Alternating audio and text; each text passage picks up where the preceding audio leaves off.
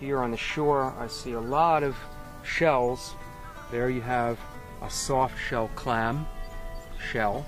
And of course, there's live clams out there in the mud. Slipper shell.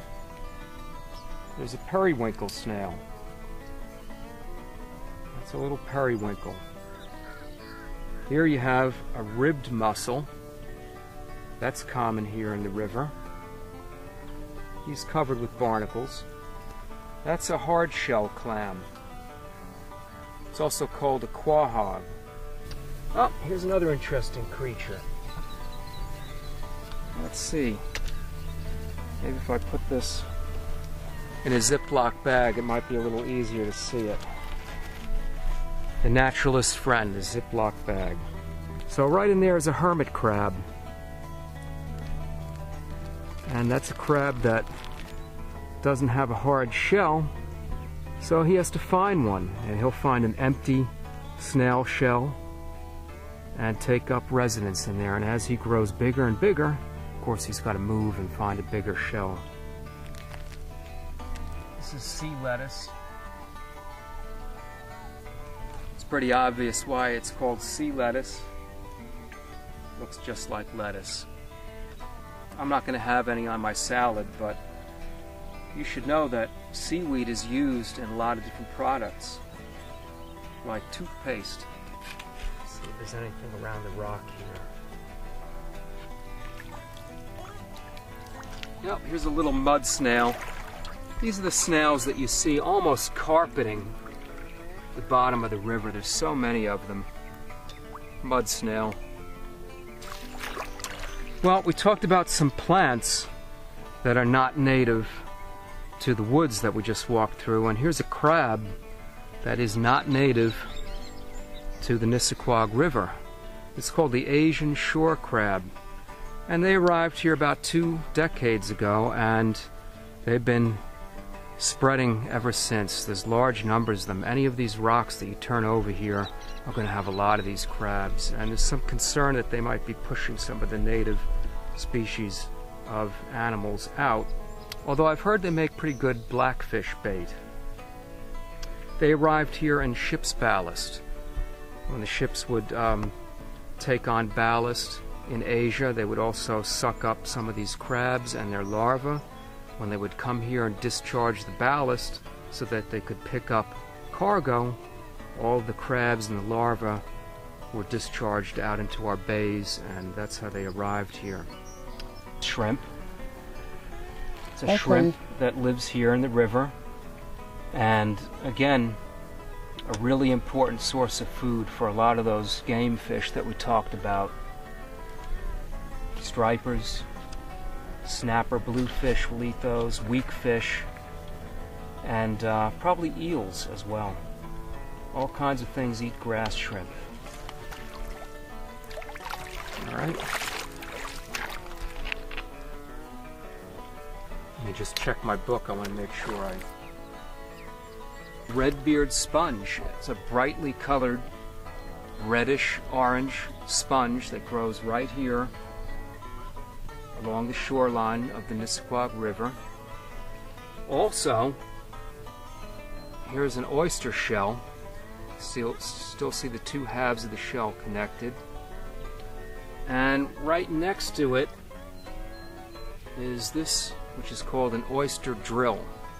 And this is a type of snail that can actually drill with its rasping tongue right through the shell of the oyster so that it's able to uh, eat the animal that's inside the shell. It's a razor clam, and it's so named because it looks like an old fashioned razor. And they burrow down into the mud vertically like that.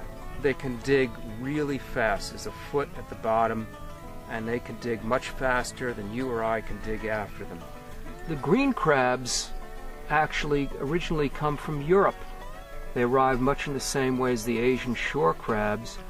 Uh, they're established here now. They've been here really for uh, about a hundred some odd years, and they're frequently used for blackfish bait. And they don't seem to be a harm to the ecology.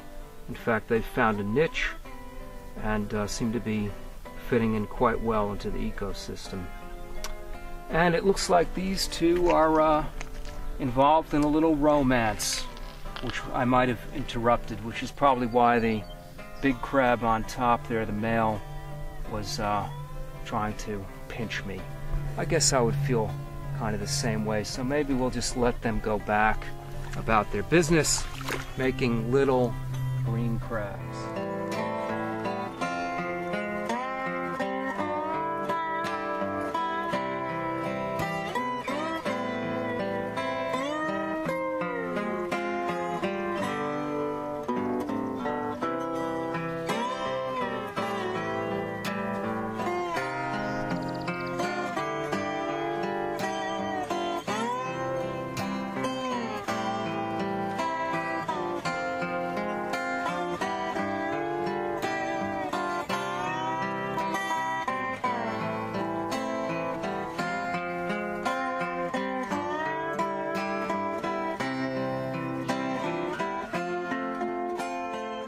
It's low tide, but they're up and about, scrambling around the beach looking for food. They have burrows at the bottom of which there's water, so they're able to keep their gills wet by going down into the burrow periodically. You'll see a few little holes here. And I see a male crab over there through the Spartina. The male with the big cl uh, claw certainly does look a bit like a fiddle, and when they're waving it around, it kind of looks like they're playing a little fiddle tune. That's an arrowhead right there along the river. Well, here's more evidence of how important this river's been to so many people for so long. That the edge here has definitely been worked by a chipper. They would use a uh, another rock to chip the edge off of a quartz piece to create a blade. It's very symmetrical too. If you look at that, you'll see it's too regular just to be a broken piece of quartz. A bit of a stem there, and this is where the arrowhead would have been bound to the shaft of the arrow, the wooden part that would be fired from the bow. I believe there was a tribe that was uh, referred to as the Nessaquake, if I uh, understand uh, history correctly. And they found this to be a great place to live, just like you and me. There's abundant resources, as we've seen shellfish, finfish, deer, uh, other animals to support them, and they would have had access to the waterways, so they would have been able to travel, to trade with other tribes. So it was a really great situation for them to be living in. My daughter found an arrowhead just a little bit to the uh, east of here in San Remo, also along the river. And we took that out to an Indian museum, and they identified that arrowhead as being upwards of 3,000 years old. Now, I don't know if this one is as well. Looks like the same style. So maybe the last person to touch this was walking along this river 3,000 years ago.